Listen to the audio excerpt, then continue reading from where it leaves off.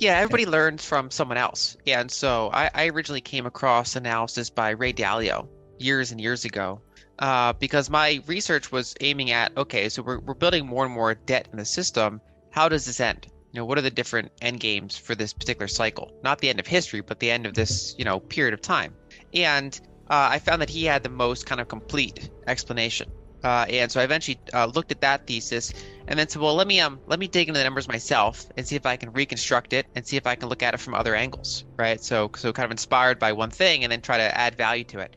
And so all of my research kept pointing in that same direction, where you go through these periods of long-term debt cycles. So you build up, you know, you have the short-term credit cycle, you build up debt in the system, then you get some sort of event or some sort of, uh, say, monetary tightening cycle that kind of washes it out. You get a period of partial deleveraging, uh, but then you start building up debt again.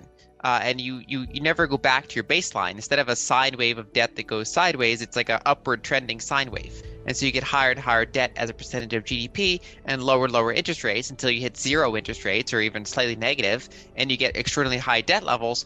And historically in history, when you hit that sort of uh, period, you get basically currency devaluation, de- uh, debt monetization, and financial oppression, which is basically that you start to get large fiscal expenditures and they hold interest rates low and so you get pretty high inflation, pretty high nominal GDP growth because the large inflation component, uh, while they're holding debt well below the inflation rate. Uh, and so, because basically, if you have 100% or 150% debt to GDP, uh, you know, if you do the math on, on interest rates, you, you can't really have structurally positive real interest rates.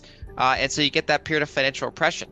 And then if you tie it even back to longer cycles of just kind of like debt jubilees or wealth concentration cycles that literally you can you can evidence that back thousands of years to, to ancient Greece and you know the, the Near East, uh, humans just go in these big cycles. And so my, my kind of research has been based on the idea that we are in one of these cycles and that most people looking at 20, 30, 40 year back tests are kind of missing the bigger picture. And I think that's starting to become more apparent, but it's it's something that I've been focusing on for about two years now. And I think what made it even more apparent recently is now we have a kinetic war going on that you also referenced because I remember reading your material thinking, okay, this is a lot, there's a lot of parallels here, but there was also World War II. And not that that discredited that type of analysis, but now that we actually have a shooting war going on, it's like, you know, the realization is like, holy smokes, like how similar are we to that particular era? So I guess my question for you is 10 years from now, where are we? Like forget the next year like 10 years from today. Like if i'm a canadian sitting here in the toronto area thinking just from my family like where are we when it comes to stuff like currencies? Like where are we? Where is the canadian dollar the us dollars world the canadian 10 years from today? What do you see? So there's that old quote that history doesn't repeat but it rhymes right? So my, my point with the 1940s is not that we're going through an identical period but that it's the closest period uh, that's that that we should be familiar with. If, if we're basically things that seem shocking are less shocking in financial markets to you if you are familiar with the 1940s. You're like, oh, it's kind of like what happened there. Um, and so it's basically the, the closest template we have. And then the question becomes, how do we differ from that template? What are the differences? Because it's not it's not identical. And one example is that back then the United States was running structural trade surpluses, uh, and the UK, the, the existing power at the time, was the one running structural trade deficits. And so now, in, in many ways, the United States more resembles the UK from the 1940s, where you know they're the they're the leading power, uh, and they have uh, you know the structural trade deficit against a rising power, which back then was the United States, and now is is is China. Uh, that doesn't mean it's going to follow the same exact pattern. Uh, there's obviously different ge- geographic differences. There's all sorts of differences there, uh, but it, th- there is kind of a, a semblance there. And generally, you know, what I was seeing was I wasn't talking about kinetic war, but I was talking about essentially wartime finance where back then you had very large fiscal expenditures that were monetized and it was very inflationary and it was very commodity heavy.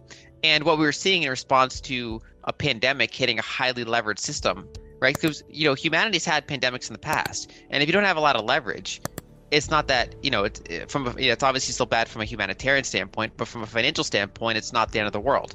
But if a if if the whole system's so tightly geared and there's so much operational leverage and financial leverage, that it just it can't absorb shocks right? It could be anything. It could be a natural disaster. It could be a virus. Could be a war. If something hits a system that levered you get these you know basically the system cannot let itself collapse. Credit credit cycle credit markets are based on always expanding. And that's why these these kind of recessions have gotten kind of shorter and crazier with bigger and bigger government responses And so when a when you're kind of at the long-term debts, like you're already at the zero bound in terms of monetary policy, and you get a big shock to the system, you get a massive fiscal response. And so it looked like wartime finance, even though we weren't in a kinetic war with another country. We were at war with, you know, biology, essentially. We were at war with just, our, our, saving our levered system. Before we continue, help us clicking that YouTube like button and subscribe now to our channel. This shows the algorithm that you valued this information. And it helps us spread that message. Sharing is caring. And now, let's continue. I have bad news for you. If you're not rich by now, you're screwed. And if you're in debt, you're even double screwed. How so, you might wonder? Well, the sad truth is that you're working your whole life to make someone else rich. The mega corporations, the banks, the politicians, everyone is getting richer. They get your money. And what is even worse, they get your time, they get your life. You are not even in a rat race, you're in a financial prison. But what could a solution for you look like? Honestly, I don't know, but I know what a solution for me would look like. It's very simple. I use whatever money I have and I multiplied with 1000. This could make my life much easier and probably yours as well. If you have $1,000 available, and multiply this with 1000, I believe that this could solve some financial issue for the one or the other. Of course, if you're ugly, you would have to multiply it with much more than 1000. My name is Marco Stan, and this is what I decided to do. I decided to 1000x my money. This is not a joke.